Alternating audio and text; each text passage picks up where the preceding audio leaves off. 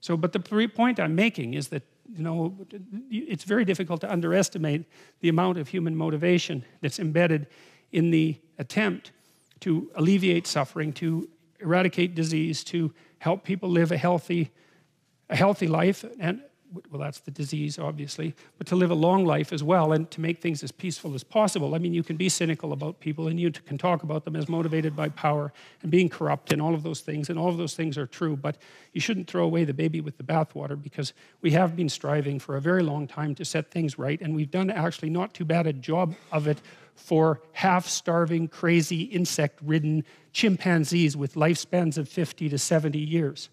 So, you know, we could deserve a bit of sympathy for our position as far as I'm concerned. So,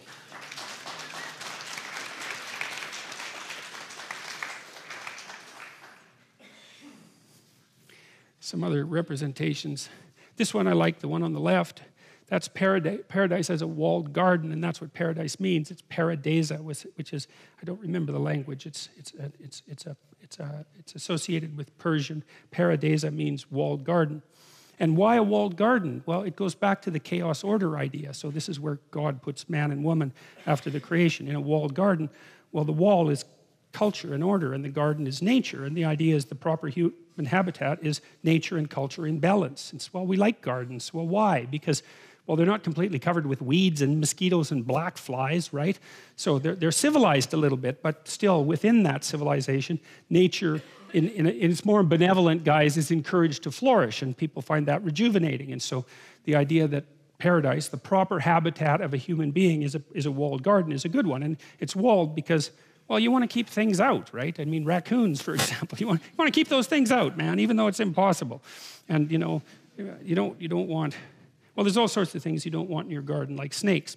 Walls don't seem to be much use against them. But the idea that paradise is a walled garden is, is a, a, a, an echo back to the chaos order idea walls, culture, right? Garden, nature. So the proper human habitat is a properly tended garden. Now, the radical left leaning, anti theist environmentalists tend to make the case that the predations of the Western capitalist system are a consequence of the injunction that was delivered in Genesis by God to man to go out and dominate the earth. David Suzuki has talked a lot about this, by the way. They believe that that statement has given rise to our inappropriate assumption that we have the right to exert control over the world, and that that's what's turned us into these terrible predatory monsters, sometimes described as cancers on the face of the earth or viruses that have inhabited the entire ecosystem, who are doing nothing but wandering everywhere and wreaking havoc as rapidly as we possibly can, which is another perspective on the essential element of humankind that I find absolutely deplorable. I mean, if you look at the historical record, for example, even casually, you'll find out that as early as as late as the late 1800s, 1895, thereabouts, Thomas Huxley, who was Aldous Huxley's grandfather and a great defender of Darwin, prepared a report for the British government on ocean sustainability.